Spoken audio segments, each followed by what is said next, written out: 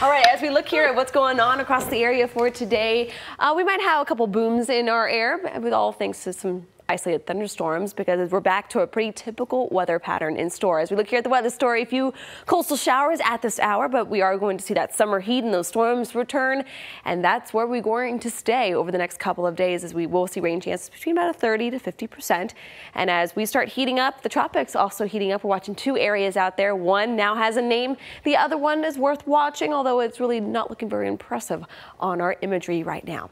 This is looking impressive. A beautiful shot as the sun starts to rise. Sun, sunrise will be at about 648, so just a couple, uh, probably about 30 minutes or so away.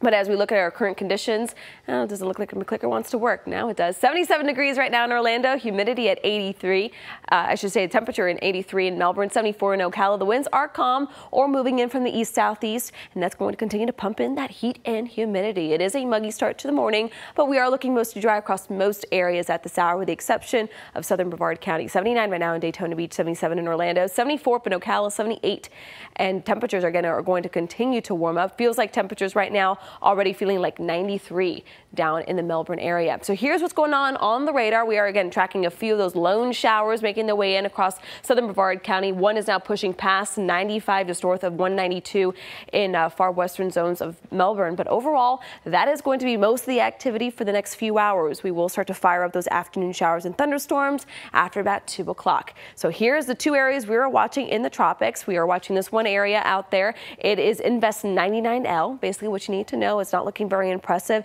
It has been ripped apart a little bit by the um, environment surrounding it. For that reason, they're giving it a low 20% chance of it becoming our next named storm within the next five days. That one's worth watching as it tracks a bit closer towards central Florida by the end of the week and into the weekend. Of course, we'll have plenty of times to watch it. But as of now, this is the main system we're watching. It is Tropical Storm Franklin. It has a name as of yesterday night.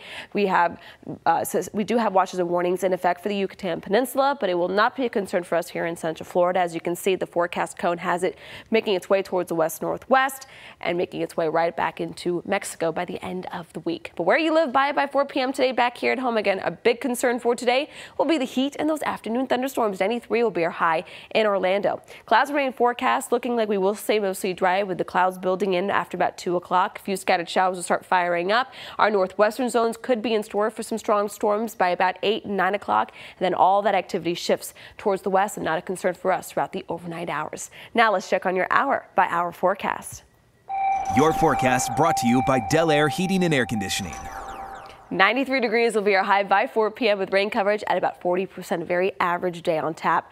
Later on tonight, we'll take some time to cool down to the upper 70s, but looking mostly dry with rain coverage at a slim 20%. Now let's roll out here your next seven days. You can see that we will stay near normal rain coverage between about 40 to 50% with our highs hovering near average between 91 and 94.